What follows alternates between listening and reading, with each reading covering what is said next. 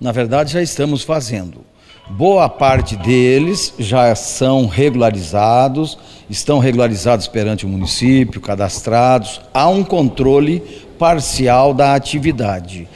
Compete à administração, à nossa secretaria, fazermos a fiscalização sobre esta prestação de serviço. Então, estaremos agora regularizando os pontos através de alvarás, porque nós temos vários pontos de onde eles se concentram.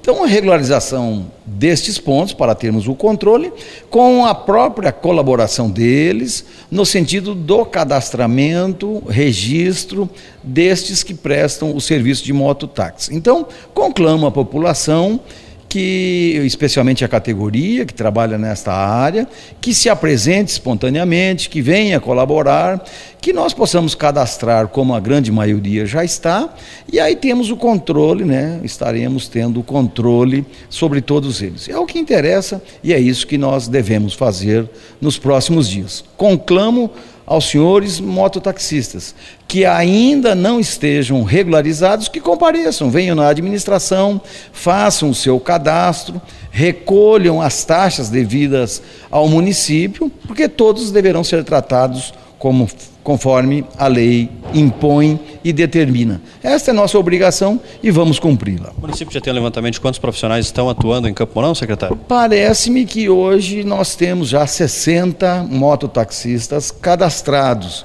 mas existe também alguns ainda não regularizados. Então nós faremos essa checagem, essa abordagem a todos.